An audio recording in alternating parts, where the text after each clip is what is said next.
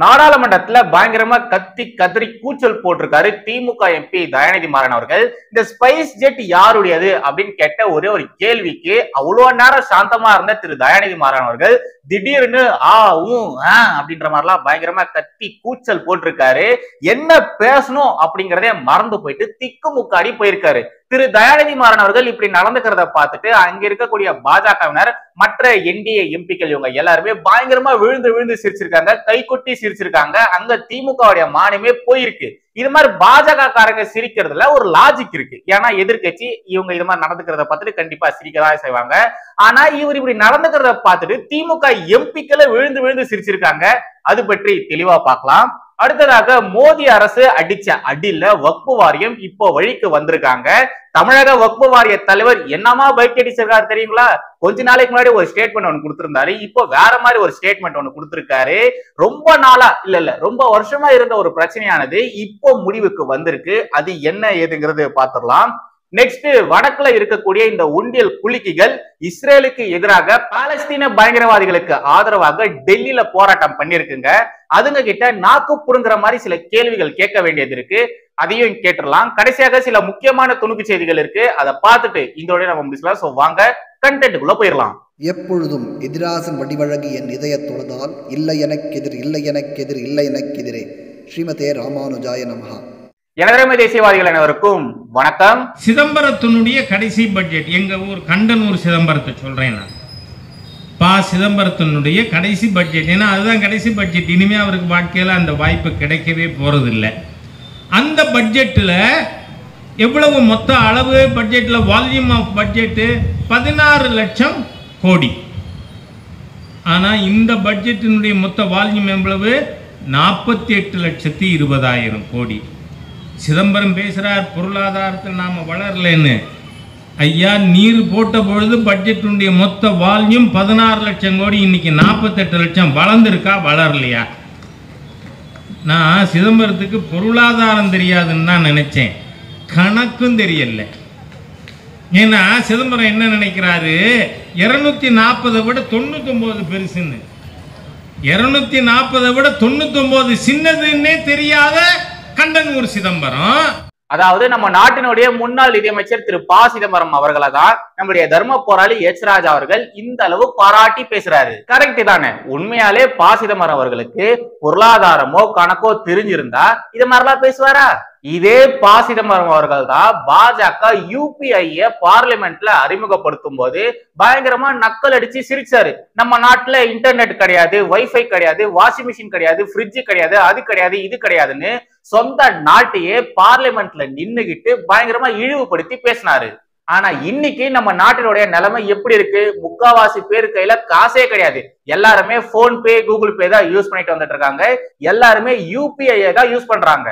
நான்லாம் காசை கண்ணில் பார்த்து ரொம்ப நாள் ஆயிடுச்சு. எல்லாமே ஃபோன்பே தான். ரெண்ட்டு காய்கறி பால் வாங்குறது வெளியில போனா ஏதாச்சும் பர்ச்சேஸ் பண்றது சொல்லிட்டு எல்லாத்துக்குமே நான் போன் பே தான் யூஸ் பண்றேன். இஎம்ஐ எல்லாம் ஆட்டோமேட்டிக்கா போயிருது. இதெல்லாம் காங்கிரஸ் உடைய ஆட்சி காலத்திலே கொண்டு வந்திருக்கலாம். ஆனா அவங்களுக்கு தான் ஊழல் பண்றதுலயே நேரம் சரியா இருந்தது. அப்படி இருக்கும்போது நாட்டுடைய வளர்ச்சியில அவங்களால எப்படி கவனம் செலுத்த முடியும்? நீங்களே சொல்லுங்க. ரைட் இப்ப நம்ம பாராளுமன்றத்துல நம்மளுடைய திமுக எம்பி தயாநிதி மாறன் அவர்கள் கத்தி கதறி கூச்சல் போட்ட விஷயத்தை பற்றி பார்க்கலாம். இது செம்ம ஃபன்னா இருக்கும். தயவு செய்து ஃபுல்லா பாருங்க. இந்தியன் ஏர்லைன்ஸ் இருக்கு. இல்லையா? அது குறித்து ஏகப்பட்ட குற்றச்சாட்டுகளை தயாநிதி மாறன் அவர்கள் முன் வச்சிருந்தாரு இந்தியன் ஏர்லைன்ஸை தூக்கி நீங்க டாடாக்கு கொடுத்துட்டீங்க. அதுல விலை அதிகமா இருக்கு. வந்தே பாரத் ட்ரெயினுடைய டிக்கெட் விலையும் பிளைட் டிக்கெட் விலையும் ஒரே மாதிரி தான் இருக்கு. இதனால ஏழைகளால பிளைட்ல டிராவல் பண்ணவே முடியல. இந்த பாஜக அரசானது எல்லாத்தையுமே பிரைவேட் கிட்ட தூக்கி கொடுத்துறாங்க அப்படிங்கிற மாதிரி எப்பவுமே பேசுவாரு பாத்தீங்களா? அத மாதிரி தான் பார்லிமெண்ட்ல பேசிட்டு இருந்தாரு. அப்ப நடுவுல திடீர்னு நிஷிகாந்த் தூபே அப்படிங்கிற ஒரு எம்பி ஸ்பைஸ் ஜெட் யாருடையது? உங்களுடையது தானே அப்படிங்கிற மாதிரி ஒரு கமெண்ட் ஒண்ணு கொடுத்திருந்தாரு. அதை கேட்ட உடனே நம்முடைய திமுக எம்பி தயாநிதி மாறன் அவர்களுக்கு பயங்கரமா வேர்த்து போச்சு. என்ன பேசுறோம்னு தெரியாம என்னென்னத்தையோ பேசிட்டு இருந்தாரு இல்ல இல்ல பயங்கரமா உளறிட்டு இருந்தாரு. But you made sure you run the airline into losses and hand it over to the Tata. Sir, there was one young person, Sir Captain Gopinath. He was welcomed by the Indians because middle, middle class people. Sir, he's not yielding. Not no, I'm not yielding. Sit down. Sir, I'm, sir, I want to talk about Captain Gopinath. Sir, Captain Gopinath. Sir, sir, my time, sir, my time should be extended. एक minute एक minute आप क्या बोलना चाहते हैं मैं ये कह रहा हूँ कि एयर इंडिया तो सरकार ने बेचा जी। स्पाइस जेट तो इनकी कंपनी थी इन्होंने कितने घाटे में बेचा ये इनको बताना चाहिए Sir, sir, prove, let him prove Please, please that, that continue. it was owned by me. Please. Mr. Nishikant Dubey, this chair, please. This, this is a privilege motion. No, please Do not try to to come. You are an agent. You are an agent of Ambani Please this chair. Please continue.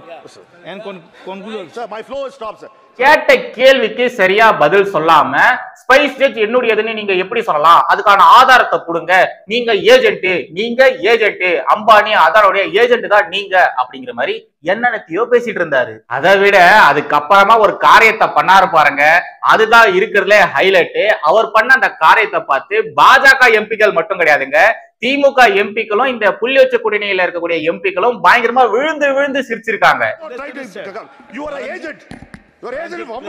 Do not try to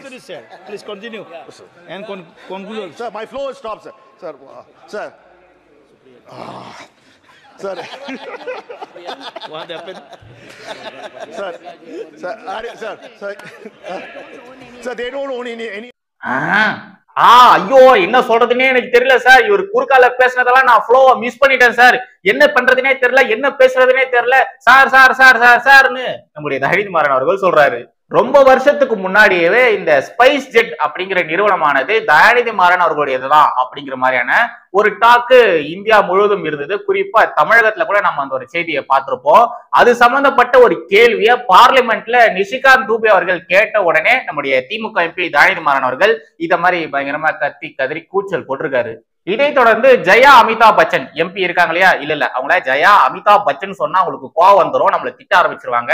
அவங்க ஜெயா பச்சன் சொல்ல சொல்லியிருக்காங்க அதனால நாமளும் ஜெயா பச்சனே சொல்லலாம் ஜெயா பச்சன் இருக்காங்க இல்லையா அவங்க பண்ண ஒரு காரியத்தினால திங்கட்கிழமை முடிய வேண்டிய இந்த பார்லிமெண்ட் செஷன் ஆனது இன்னைக்கே முடிச்சிட்டாங்க அதுவும் மறுபடியும் என்னைக்கு ஆரம்பிக்க போறோம் அப்படிங்கிற ஒரு தேதி சொல்லாமையே இன்னைக்கு முடிச்சு வச்சுட்டாங்க அப்படி அவங்க என்ன காரியத்தை செஞ்சிருக்காங்க அப்படிங்கறத நீங்களே பாருங்க मैं कलाकार हूँ बॉडी लैंग्वेज समझती हूँ एक्सप्रेशन समझती हूँ और सर मुझे माफ़ करिएगा मगर आपका टोन जो है is not accept colleague sir you may be sitting on the chair Jaya ji you have earn a great reputation you know an actor is subject to the director you have not seen what I see from here every day I don't want to repeat I don't want schooling I am a person who has gone out of the way And you say, my tone? You may be anybody. You may be a celebrity.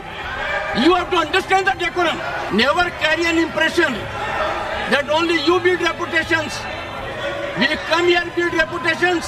அதாவது சபாநாயகர் ஜெகதீப் தங்கர் இருக்கார் இல்லையா அவரு ஜெயா பச்சன் அவர்களை கூப்பிடும் போது இலக்காரமா கூப்பிட்டாராமா அவங்க ஒரு நடிகை அப்படிங்கறதுனால இந்த ஃபேஸ் ரீடிங்கு பாடி லாங்குவேஜ் இது குறித்தான விஷயங்கள் அவங்களுக்கு நல்லாவே தெரியுமா சபாநாயகர் அவர்கள் கூப்பிட்ட விதம் சரியில்லை. அவர் இழிவுபடுத்துற மாதிரி என்ன கூப்பிட்டுருக்காரு. அப்படிங்கிற மாதிரி எல்லாம் அவங்க சொல்றாங்க. அது மட்டும் இல்லாம சபாநாயகர் என்கிட்ட மன்னிப்பு கேட்கணும். எப்படி? சபாநாயகர் இவங்க கிட்ட மன்னிப்பு கேட்கணுமா? அத மாதிரி இந்த ஜெயா பச்சன் அவர்கள் பார்லிமெண்ட்ல பேசியிருக்காங்க. இந்த அம்மாக்கு மூளைன்னு ஒண்ணு இருக்கா இல்லையானே தெரியல. ஏன்னா இதுக்கு முன்னாடி ஜெயா பச்சன் கூப்பிட்டா போதும். ஜெயா அமிதாப் பச்சன் கூப்பிட வேண்டிய அவசியம் கிடையாது. அப்படிங்கிற மாதிரி சபாநாயகர் கிட்ட அன்னைக்கு சண்டை போட்டாங்க. இன்னைக்கு இந்த அம்மா பாருங்க எனக்கு மரியாதை கொடுக்கல என்ன இலக்காரமா கூப்பிடுறாங்க அப்படிங்கிற மாதிரி சொல்லிட்டு சபாநாயகர் மன்னிப்பு கேட்கணும்னு சண்டை போடுறாங்க. உங்களை எதுக்கு எம்பி ஆக்குனாங்க? இவ்வளவு நாளா நீங்க பார்லிமெண்ட்டுக்கு வந்துட்டு போறீங்களே? என்னைக்காச்சும் ஒரு நாளாச்சும் மக்கள் பிரச்சனை குறித்து பார்லிமெண்ட்ல பேசியிருக்கீங்களா? எனக்கு மரியாதை தெரியல இவங்க அத மாதிரி பேசுறாங்க. என் பேர் எதுக்கு இவங்க ஃபுல்லா சொல்றாங்க? இதெல்லாம் யாராச்சும் கேட்டாங்களா? எதுக்கு நீங்க இது மாதிரிலாம் பண்றீங்க? அப்படிங்கிற மாதிரி சம்மந்தமே இல்லாம சீமான் மாதிரி பார்லிமெண்ட்ல பேசிட்டு இருக்காங்க. யாரை எம்பி ஆக்கணும்ன்ற விவஸ்தை கொஞ்சம் கூட இல்லாம யார் யாரையோ எம்பி ஆக்கி விட்டு பாருங்க பார்லிமெண்ட்ல அவங்க என்னென்னலாம் பேசிட்டு இருக்காங்க. அடுத்ததாக இந்த வக்பு போர்டு விவகாரம் குறித்து தான் பார்க்க போறோம். தமிழகத்துடைய வக்பு வாரிய தலைவர் எப்படி பல்டி அடிச்சிருந்தாரு? அப்படிங்கறத நேத்து நாம பார்த்திருந்தோம். அதே நபர் கொஞ்ச நாட்களுக்கு முன்னாடி என்ன மாதிரி எல்லாம் பேசியிருக்காரு அப்படிங்கறத தயவு செய்து நீங்களே பாருங்க. ஆயிரத்தி ஐநூறு ஆண்டுகளை தாண்டிய பழமையான கோயில் என்கிற காரணத்தை முன்னிறுத்தி அதனாலே அந்த இடம் எப்படி வக்ஃபுக்கு சொந்தமானது என்று சொல்ல முடியும் என்று கேட்கிறார்கள். அது தவறான ஒன்று. அது வக்ஃபு சொத்து தான் வக்ஃபு நிலத்தில் கோயில்கள் இருக்கக்கூடாது என்று யார் சொன்னது? வக்ஃபு நிலத்தில் நிச்சயமாக அந்த கோயில் இருப்பதும் உண்மை.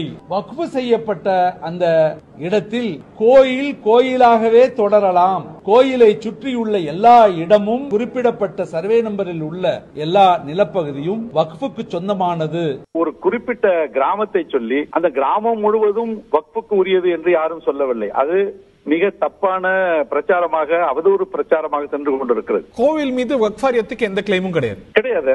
யாரும் கோயிலை பத்தி பேசவே இல்லையே. மோடி அரசாங்கம் அடிச்ச அடியில சித்தம் கலங்கி இப்பதான் இவரு தெளிவா பேச ஆரம்பிச்சிருக்காரு. இதன் மூலமா இன்னொரு நல்ல காரியமும் நடந்திருக்கு. அதுவும் ரொம்ப வருஷம் கழிச்சு ஒரு நல்ல காரியம் நடந்திருக்கு. இந்த நியூஸ் கார்டை கொஞ்சம் பாருங்களேன். திருச்செந்துறையில் பத்திரப்பதிவுக்கு தடை இல்லை. திருச்செந்துறை கிராமத்தில் நிலங்களை வாங்கவும் விற்கவும் தடையில்லை. முன்னூத்தி எண்பத்தி ஒன்பது ஏக்கர் நிலத்தை பத்திரப்பதிவு செய்வதற்கு எந்த தடையும் இல்லை. அப்படிங்கிற மாதிரி திருச்சி மாவட்ட ஆட்சியர் பிரதீப் குமார் அவர்கள் சொல்லியிருக்காரு. திருச்செந்துறையில் முன்னூத்தி எண்பத்தி ஒன்பது ஏக்கர் பரப்பளவிற்கு வக்பு வாரியத்திற்கு சொந்தமான இடம் என முறையிட்டதால் பத்திரப்பதிவு தற்காலிகமாக நிறுத்தப்பட்டது. அதாவது இந்த செய்தி குறித்து நாம ஏற்கனவே ரெண்டு மூணு வீடியோஸ்ல பார்த்திருந்தோம். ஒரு கிராமமே வக்பு வாரியத்திற்கு சொந்தமானது அப்படிங்கிற மாதிரி அவங்க கிளைம் பண்ணியிருந்தாங்க. அதனாலேயே அங்களுடைய மக்களால அவங்களுடைய நிலத்தையோ அவங்களுடைய வீட்டையோ விற்க முடியாத ஒரு சூழ்நிலை இருந்தது. இப்போ மோடி அரசு இந்த புதிய வக்பு வாரிய சட்ட திருத்த மசோதாவை கொண்டு வர போறதா சொல்லியிருந்தாங்க இல்லையா அதோடைய அறிமுகம் கூட நடந்து முடிஞ்சிருச்சு. அதுக்கப்புறமா பாருங்க தமிழக வக்பு வாரிய தலைவர் முழு கிராமமும் வக்பு வாரியத்துக்கு சொந்தமானது கிடையாது.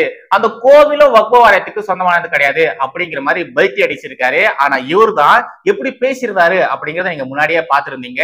இப்ப பாருங்க அந்த கிராம மக்கள் அவ்வளவு வருஷம் கஷ்டப்பட்டாங்க இல்லையா அந்த கஷ்டமானது இப்போ முடிவுக்கு வந்திருக்கு. இப்போ திருச்செந்துறையில் இருக்கக்கூடிய மக்கள் அவங்களுடைய சொத்துக்களை விற்கலாம். எந்த விதமான பிரச்சனையும் கிடையாது அப்படிங்கிற மாதிரி அந்த திருச்சி மாவட்டத்தினுடைய ஆச்சரியர் திரு பிரதீப் குமார் அவர்கள் இப்போ அவரே சொல்லியிருக்காரு. நெக்ஸ்ட் பார்க்க போறது ரொம்ப ரொம்ப முக்கியமானது. நம்ம நாட்டுல இருக்கக்கூடிய லொட்டாங்கை சித்தாந்தவாதிகள் இருக்காங்க இல்லையா? இவங்கள மாதிரி கேவலமான ஜென்மங்களை நம்ம வேற எங்கேயுமே பார்க்கவே முடியாது. பக்கத்து நாடான அண்டை நாடான பங்களாதேஷ்ல அங்க இருக்கக்கூடிய இந்துக்களை அங்க இருக்கக்கூடிய அடிப்படை இஸ்லாமியவாதிகள் கொடூரமா தாக்குறாங்க கொடூரமான முறையில கொலை பண்றாங்க அவங்களுடைய சொத்துக்களை எரிச்சு நாசம் பண்றாங்க. அதை பத்தி வாயை திறந்து ஒரு வார்த்தை கூட பேசாத இந்த லொட்டாங்கை சித்தாந்தவாதிகள் நேத்திக்கு பாலஸ்தீன பயங்கரவாதிகளுக்கு ஆதரவாக இஸ்ரேலுக்கு எதிராக டெல்லியில இஸ்ரேல் எம்பசி முன்னாடி போராட்டம் பண்ணிருக்குங்க இதுங்களா என்ன மாதிரியான ஜென்மங்கனே சுத்தமா தெரியலங்க. இந்த போராட்டத்துல வெளிநாட்டுல இருந்து வந்த நாயங்க கூட கூட சேர்ந்து போராட்டம் பண்ணிருக்குங்க இங்க சைட்ல அந்த வீடியோ போடுறேன் தயவு செய்து பாருங்களேன்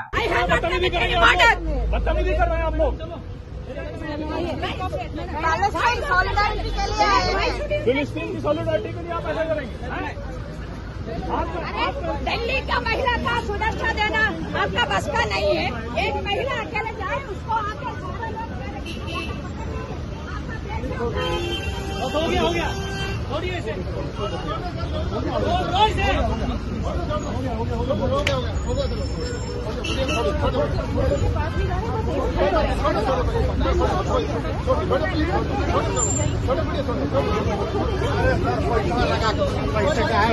snatching the, the posters also and going. There is a silent protest. People were not raising slogans, they were just walking. And for that, so many police here, force, and they are not even letting people walk silently.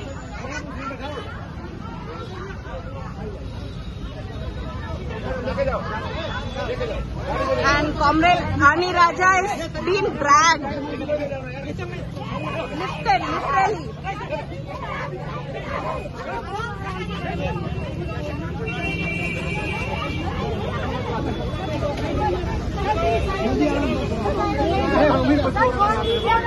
Police मुर्दाबाद। मुर्दाबाद मुर्दाबाद police मुर्दाबाद। मुर्दाबाद मुर्दाबाद Delhi police मुर्दाबाद। मुर्दाबाद Delhi police शर्म करो शर्म करो दिल्ली पुलिस शर्म करो दिल्ली पुलिस शर्म करो शर्म करो शर्म करो दिल्ली पुलिस मुर्दाबाद।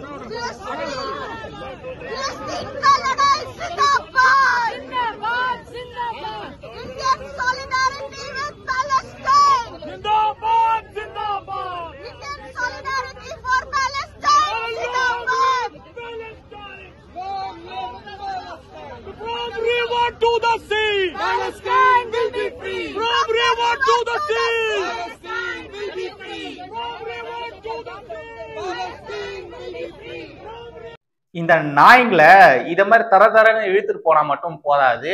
லட்டிய வச்சு நாலு வாங்கு வாங்கினாதான் இதுங்களாம் சரிப்பட்டு வருங்க. அங்களுடைய பயங்கரவாதிகளுக்கு சப்போர்ட் பண்ணி நம்ம நாட்டுல எதுக்கு இதுங்க போராட்டம் பண்ணணும்? அதுவும் டெல்லியில நம்ம நாட்டினுடைய தலைநகர்ல இத மாதிரி இதுங்க போராட்டம் பண்ணிருக்காங்க. அந்த போராட்டத்தை தடுக்க போல டெல்லி காவல்துறையினருக்கு எதிராக இப்படி கோஷம்லாம் போடுதுங்க பாத்தீங்களா? உங்களுக்கு எல்லாம் பாலஸ்தீனுக்கு ஆதரவாக போராடணும்னா நாய்ங்களா அங்க போக வேண்டியதானே பாலஸ்தீனுக்கு போயிட்டு இஸ்ரேலுக்கு எதிராக போராட வேண்டியதானே இங்க உட்கார்ந்துகிட்டு எதுக்கு போராட்டம் பண்றீங்க? அந்த பாலஸ்தீன பயங்கரவாதிகள் மீது உங்களுக்கு அவ்வளவு அக்கறை இருந்ததுன்னா அங்க போக வேண்டியதானே நாய்ங்களா? இங்க எதுக்கு இருக்கீங்க? ஏன்னா ஒரே ஒரு ஆசை தான் இஸ்ரேல் எடுக்க போற அடுத்த கட்ட நடவடிக்கைகள்லாம் பார்த்து இந்த நாய்ங்கெல்லாம் கத்தி கதறி சாவணும் இதுங்க அழுது சாவணும் அத மாதிரியான ஒரு நடவடிக்கையை தயவு செய்து இஸ்ரேல் நீங்க எடுங்க. உங்களால மட்டும்தான் இத மாதிரி நாய்களை அடக்க முடியும். தயவு செய்து அப்படிப்பட்ட ஒரு நடவடிக்கையை எடுங்க. இந்த போராட்டத்துல பாருங்க சம்மதமே இல்லாம வெளிநாட்டுல இருந்து வந்த நாய்ங்கெல்லாம் இங்க உட்கார்ந்துகிட்டு அதுவும் நம்ம நாட்டுடைய டெல்லி தலைநகர்ல உட்கார்ந்துகிட்டு எப்படி போராட்டப்படுதுங்க? எப்படி நம்முடைய செக்யூரிட்டி ஏஜென்சி எல்லாம் அமைதியா இருக்காங்கன்னு தெரியல. வெளிநாட்டுல இருந்து வந்த நாய்ங்க இங்க உட்கார்ந்துகிட்டு வெளிநாட்டுல இருக்கக்கூடிய ஒரு பயங்கரவாத அமைப்புக்கு ஆதரவாக இந்தியாவுடைய நட்பு நாடான இஸ்ரேலுக்கு எதிராக இங்க டெல்லியில நம்ம நாட்டுடைய தலைநகர்ல போராட்டம் பண்ணுதுங்கன்னா இதுங்களுக்கு எவ்வளவு நெஞ்செழுத்து இருக்கணும்? நம்முடைய செக்யூரிட்டி ஏஜென்சி ஏன் இவ்வளவு அமைதியா இருக்காங்கன்னு தெரியல. எல்முருகன் அவர்கள் வேற டிபார்ட்மெண்ட்ல தானே இருக்காரு. அவர் ஒன்னும் செக்யூரிட்டி டிபார்ட்மெண்ட்ல இல்லையே. ஆனாலும் எப்படி இவங்க இவ்வளவு அமைதியா இருக்காங்க? இது மாதிரியான விஷயத்துக்கு இவங்க எப்படி அனுமதி தராங்கன்னு தாங்க தெரியல. அங்க போராட்டம் பண்ண ஒவ்வொரு நாய்ங்க மீதும் ஊப்பா சட்டம் பாயணும். அப்படி பாஞ்சா மட்டும்தான் அதுங்க அமைதியா இருக்குங்க. இல்லைன்னா இதே மாதிரி தான் பண்ணிட்டு இருக்கோங்க. அங்க ஒரு சில வெளிநாட்டு நாயங்களா இருந்ததுங்க இல்லையா? அதுல ஒரு கிழவ ஒருத்தன் இருந்திருப்பான். அவனை பத்தின ஒரு தகவல் ஒண்ணு கிடைச்சிருக்கு. இங்க சைட்ல அந்த ஸ்கிரீன்ஷாட் போடுற தயவு செய்து பாருங்களேன் எஸ்டர்டே ட்ரீசின்ஸ் மீட் ராகுல் Gandhi as a right to food activist அதாவது அந்த கிழவன் பேரு பாத்தீங்கன்னா ட்ரீசி ஜீன் அப்படின்ற மாதிரி போட்டிருக்காங்க.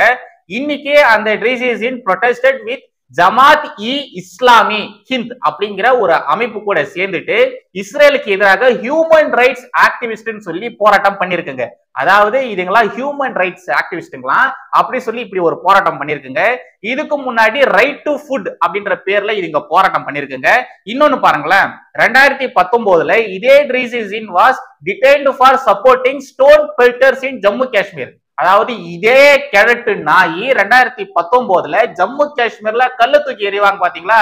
அவனுங்களுக்கு ஆதரவாக இது போராட்டம் எல்லாம் பண்ணிருக்கு this is how Italian ecosystem plays they funds all such anti Indian elements they pose as different kind of activist and then work on anti Indian agenda GOI ஜிஓஐனா னா government of India should revoke is citizenship and kicked out எப்போ பண்ணுவாங்க? இது மாதிரி பண்ணுவாங்களா? அப்படின்னே தெரியல. இத மாதிரியான ஆட்கள் நிறைய பேர் நம்ம நாட்டுல இருக்கானுங்க. இங்க வர வேண்டியது இங்க இருக்கக்கூடிய இந்த பிரிவினவாதிகளை கரெக்டா பார்த்துட்டு கூட சேர்ந்து இங்க போராட்டங்களா கட்டமைக்க வேண்டியது. அதுவும் இந்த நாட்டிற்கு எதிரான போராட்டங்களா பண்ண வேண்டியது. ஆனா நம்ம நாட்டினுடைய அரசாங்கம் பாத்தீங்கன்னா இதெல்லாம் வேடிக்கை தான் பார்த்துட்டு இருக்காங்க. எல் முருகன் அவர்கள் தான் வேற டிபார்ட்மெண்ட்ல இருக்காரு. மற்றவர்கள்லாம் இங்க ஆக்டிவா தானே இருக்காங்க. அவங்க இந்த விஷயத்த கொஞ்சம் கண்ணும் கருத்தமா பார்க்கணும் தானே? எதனால இது மாதிரி நாய்களை நாட்டுக்குள்ள விடுறாங்கன்னே தெரியல. தயவு செய்து ஏதாச்சும் கடுமையான நடவடிக்கை இது மாதிரியான நாய்கள் மீது எடுங்க கடைசியாக சில முக்கியமான துணுக்கு செய்திகள் இருக்கு. அதை பார்த்துட்டு இதோட நம்ம முடிச்சுக்கலாம். ஃபர்ஸ்ட் இதை பாருங்க. துணை முதல்வராகும் உதயநிதி அமைச்சர்.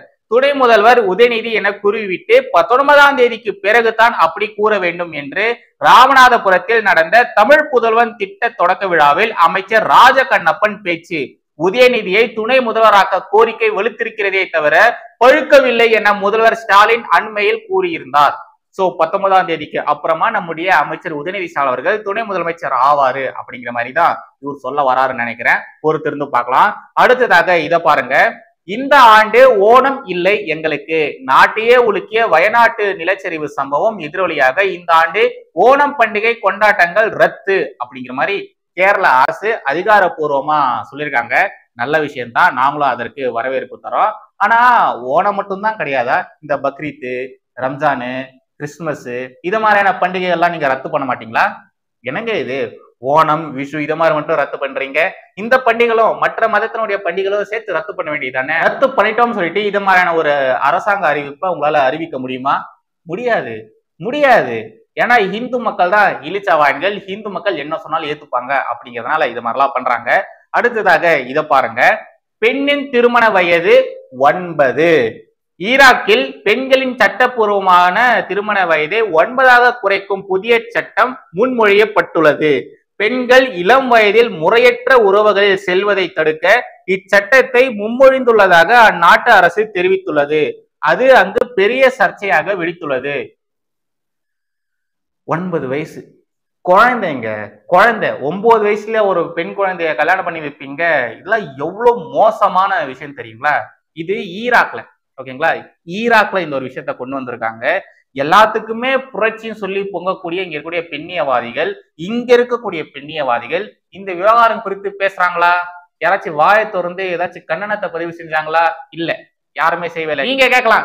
ஏன்டா ஈராக்ல இது மாதிரியான ஒரு சட்டத்தை கொண்டு வந்தாங்கன்னா இங்க உட்கார்ந்துகிட்டு எதிர்ப்பு தெரிவிக்க முடியுமா? ஏடா லூசு மாதிரி பேசுற சொல்லிட்டு நீங்க என்ன பார்த்து கேட்கலாம். கரெக்ட் தான். ஆனா இங்க இருக்கக்கூடிய ஒரு சிலதுங்க பாலஸ்தீனத்துக்கு ஆதரவாக இங்க போராட்டம் பண்றானுங்க இல்லையா? இஸ்ரேலுக்கு எதிராக இங்க போராட்டம் பண்றானுங்க இல்லையா? அமெரிக்கால ஏதாச்சும் இஸ்லாமியர்கள் பாதிக்கப்பட்டாங்கன்னா சென்னையில இருக்கக்கூடிய அமெரிக்கன் எம்பசி முன்னாடி இங்க நிறைய பேர் போராட்டம் பண்றாங்க இல்லையா? அத மாதிரி இந்த ஒரு விஷயத்துக்கும் பண்ணிட்டு போங்கன்னு நான் சொல்றேனே தவிர மத்தபடி எல்லாம் ஒண்ணும் கிடையாது. ஓகேங்களா? கடைசியாக இந்த நியூஸ் கடை பாருங்க. படப்பிடிப்பின் போது நடிகர் சூர்யாவுக்கு காயம். ஊட்டியில் நடைபெற்ற சூர்யா நாற்பத்தி நான்கு படத்தின் சண்டை காட்சி படப்பிடிப்பின் போது நடிகர் சூர்யாவுக்கு தலையில் காயம். உடனடியாக படப்பிடிப்பு நிறுத்தப்பட்டு அவருக்கு சிகிச்சை அளிக்கப்பட்ட நிலையில் சில நாட்கள் ஓய்வெடுக்க மருத்துவர்கள் அறிவுறுத்தி உள்ளனர். கார்த்திக் சுப்ராஜ் இயக்கும் இப்படத்தின் இரண்டாம் கட்ட படப்பிடிப்பு ஜூலை இருபத்தி ஆறாம் தேதி முதல் ஊட்டியில் நடைபெற்று வருகிறது. இவன் சும்மாவே தலையில அடிபட்ட மாதிரி தான் பேசுவான். இப்போ உண்மையாலேயே தலையில அடிபட்டிருக்கு. இதுக்கப்புறம் என்ன மாதிரி எல்லாம் பேச போறானோ என்ன மாதிரியான கருத்துக்கள் சொல்ல போறானோ தெரியல. சொல்லதாங்க இன்னைக்கான கண்டென்ட் மறுபடியும் அடுத்த ஒரு சந்திக்கிறேன். இருக்கும் ஜெய்ஹிந்த் வந்தே மாத்திரம்